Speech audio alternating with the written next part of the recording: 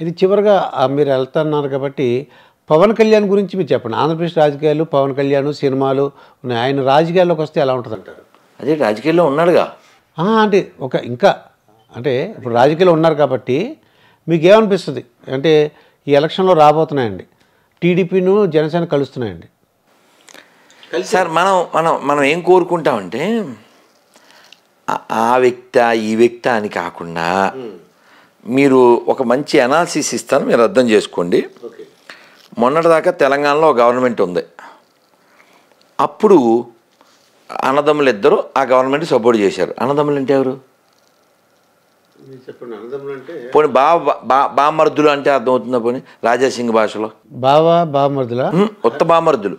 రాజాసింగ్ బామర్ది అంటాడు వాళ్ళ ఇద్దరిని ఇద్దరు అన్నదమ్ములు అంటే ఎవరున్నారు సార్ ఇక్కడ సిటీలో? ఓవైసీ బ్రదర్స్. ఓకే అండి. ఆహా. ఓకేనా? Okay okay. ఇప్పుడు వీళ్ళిద్దరూ మొన్నటిదాకా ఎవరు కొమ్ము కాశారు? కేసీఆర్ కండి. ఇప్పుడు ప్రొటెం స్పీకర్ ఎవరు? అది వాళ్ళ ఎంఐఎం అక్బరుద్దీన్ అండి. అదే మొన్నటిదాకా కేసీఆర్. ఇప్పుడు? కాంగ్రెస్. అతను చెప్పాడు.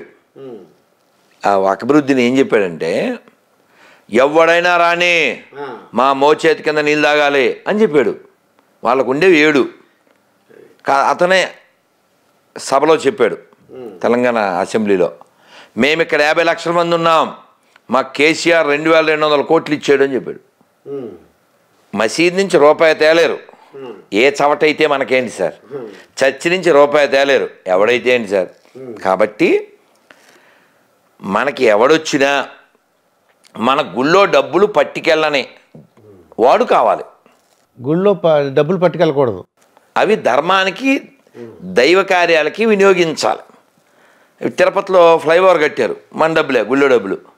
మసీద్ నుంచి రూపాయి తేలేరు ముల్లాలకు జీతాలు ఇస్తారు. చర్చి నుంచి రూపాయి తేలేరు పాస్టర్లకు జీతాలు ఇస్తారు. ఎక్కడవి మన గుళ్ళో డబ్బులు? వక్ భూమి వక్ఫ్ భూమి అని ఉంటుంది. అది ఒక అంగుళం వీడు తీసుకోడు. కానీ గుళ్ళో భూములు మాత్రం ఎత్తుకుపోతారు. కాబట్టి ఇలాంటి దొంగలు ఎవరు రాకూడదు. అదేందా పవన్ కళ్యాణ్ ఎదిగి మంచి పనులు చేస్తే మంచిదే. మాకు ఎవరైతే ఏమిటి సార్ మనకి? మనకి ధర్మం ముఖ్యం. నువ్వేం గుళ్ళో డబ్బులు ఎత్తుకుపోయి ఘాటు కట్టి గొర్రె మతాన్ని పెంచుతాను అంటే పనికి మాలింది నేను చెప్తున్నాను ఛాలెంజ్కి రెడీ. నీతి లేనాడు గొర్రె అవుతాడు ఛాలెంజ్ రెడీ.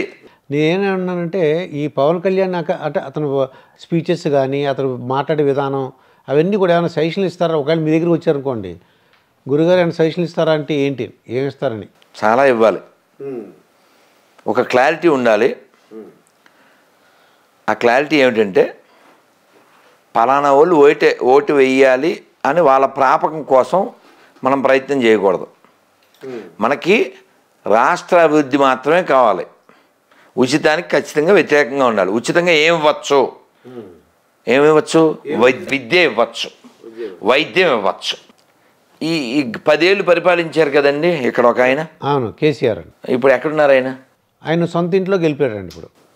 హాస్పిటల్లో ఉన్నాడు. ఆ హాస్పిటల్లో ఉన్నాం కరెక్ట్. ఏ హాస్పిటల్ ఇది? యశోద హాస్పిటల్ అండి. అంటే పదేళ్ళలో వైద్య రంగం అడుక్కుతుందని కదండి అర్థం. ఒక సీఎం పదేళ్ళు పరిపాలన చేసి గవర్నమెంట్ ఆసుపత్రిలో చేరాలిగా? లేదండి. అప్పుడు యశోద హాస్పిటల్ స్పెషల్ అది మీకు అర్థం కావట్లే. అంటే అంత డెవలప్ చేయలేదు మరి. ఇప్పుడు మీరు ఎలా ఇది ఓ జోక్ చెప్తే మీకు బాగా అర్థం అవుద్ది. ఒరేయ్ పక్క హోటల్కి వెళ్ళి మంచి టిఫిన్ పట్టుకురా అన్నాడు ఇంకొన్ని హోటల్ ఓనర్. ఆడు హోటల్ ఓనర్ అయి ఉండి ఇంకా మీకు బాగా చెప్తాను.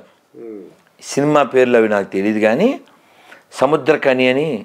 ఆ, డైరెక్టర్ ఉన్నాడండి యాక్టర్ కూడా. యాక్టర్ కదా. ఏదో సినిమా వాళ్ళ అమ్మాయి బండి బండిలో ముందు పెట్టుకుని వెళ్తున్నారు. ఏదో డబ్బింగ్ మూవీ చిన్న మొక్క చూసా.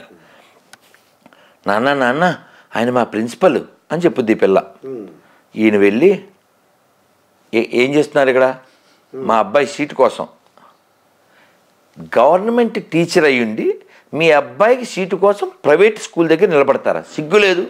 అంటే ఆడు తల మా మార్చుకుంటాడు. సేమ్ అప్లికబుల్ ఇక్కడ కూడా కదా?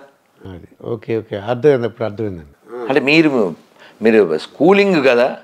అందుకని మీ భాషలో చెప్పాను. అంటే అంటే గవర్నమెంట్ హాస్పిటల్ డెవలప్ చేస్తుంటే ఈయన అక్కడికి వెళ్ళుదురు. కదండి? అంటే మీ ఐడియా ప్రకారం విద్య వైద్యం ఫ్రీగా ఇవ్వాలి. అంటే ఓట్ల గురించి వాళ్ళు ఏం చేస్తున్నారంటే అండి మిగతా కూడా ఫ్రీగా ఇవ్వాల్సి వస్తుంది. ఆ, కాదు సార్ ఇప్పుడు నువ్వు ఎవరిని తయారు చేస్తున్నావు? అంటే ఒక లేజీ ఫెలోస్ని. అంటే ఉచితాలు ఇస్తే అంటే వాళ్ళు అదేదో దేశం ఉందండి సార్. టీ కొనాలంటే పది లక్షలు బండ కొనాలంటే ఇరవై లక్షలు ఏంటి నైజీరియా? అటువంటి ఆఫ్రికన్ కంట్రీ ఒకటి ఉందండి కరెక్టే. పెద్ద గోన్సన్ చేసుకెళ్ళాలి. ఒక నేను ఒక టీ తాగాలంటే. కరెక్టే అండి నేను చూశాను. పెద్ద ట్రాలీ లాగా డబ్బు వేసుకెళ్తుంటారు. ఆ వాల్యూ పడిపోయిందండి అమౌంట్ అది. ఆ డబ్బుల వాల్యూ పడిపోయింది. కాబట్టి కేవలం అధికారమే పరమావధి అనుకుంటే నాశనం అయిపోతారు. తర్వాత వీళ్ళ అన్యాయానికి చాలామంది బలైపోతారు. కాబట్టి ఫ్రీగా ఏమంటే విద్య వాడు ఎంత చదివితే అంత చదివించాలి. ఫ్రీగా గొర్రెలు ఇవ్వడం. ఏమండి? వాడంతా వాడు బతకాలి సార్. నువ్వు ఇచ్చేదేంటి సార్? పాప ఆటో వాళ్ళు ఏడుతున్నారు సార్.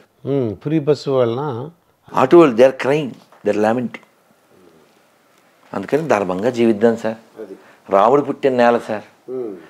పోనీ ఈ ఉచితాలు పాప అతను చెప్పాడు రేవంత్ రెడ్డి. మేమే మా ఇంటికెళ్ళి మా ఇంటికెళ్ళి తెచ్చిస్తామనుకున్నావా? అని చెప్పాడు ఆయన. అంటే నీ బ్లడ్డే నువ్వు తాగు. మేము ఇచ్చినట్టు బిల్డప్ ఇస్తాం. ఇప్పుడు ఎవరికి ఉండాలి బుద్ధి? ప్రజలకు ఉండాలండి. ప్రజలకు ఉండాలి. ప్రజల్లో మార్పు రావాలి. మేము ఉచితాలు మేము తీసుకోం.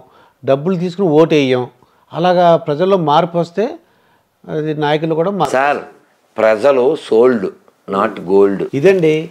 రాధా మనోహర్ గురీజీతో జరిగిన ఇంటర్వ్యూ. మరొక ఇంటర్వ్యూతో మీ ముందుంటాను. మీ దుర్గా ప్రసాద్ మాస్టర్.